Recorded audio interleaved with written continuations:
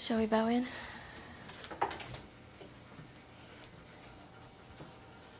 Good morning.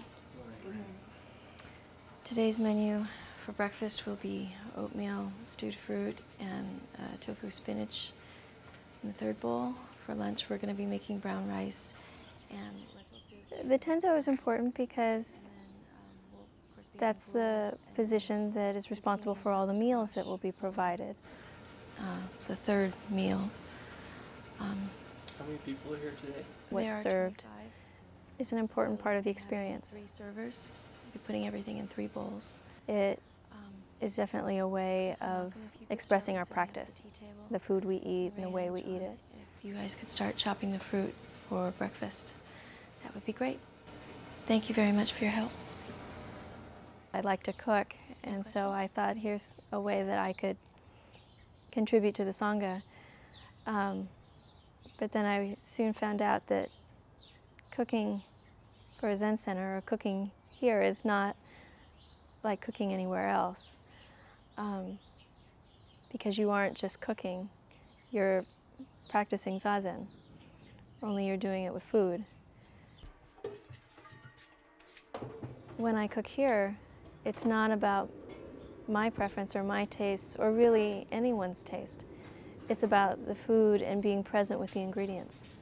You don't get to add anything because you think it tastes particularly good this way or that way. There's no real preference um, for taste, but just preparing it as simply and well as possible. I had to kind of change the way that I cook a little bit, but I, I was glad that I had that experience because it taught me a lot about appreciating the ingredients and appreciating the food itself and I gained much more insight on what it's like to really be present with food and with what we use to kind of nurture and sustain our lives. Dogen was very clear that the role of the tenzo was not an administrative role. The tenzo should be the one attending the rice.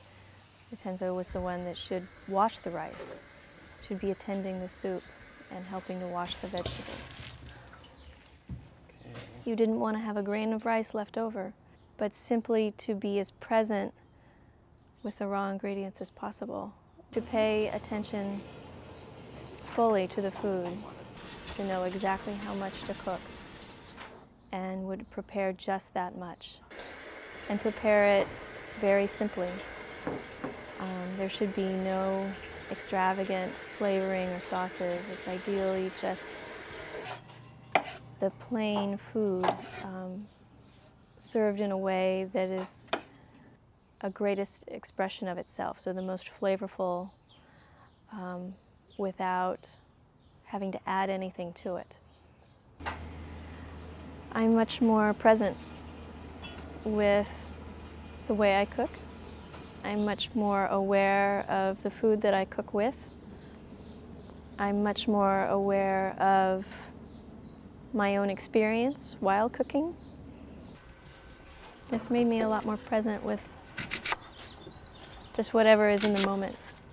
Do you have your choice of chopping celery, carrots, washing lettuce, or chopping And then on top of that, to take your practice and so directly be able to give it to others who then incorporate it into their practice and then watch the empty bowls of the empty the emptiness go back into the kitchen afterwards is it's quite a delight because when you cook for everyone and then eat the food you're very intimately aware of exactly what's in the bowl so it gives a sensitivity to my practice that I really enjoyed.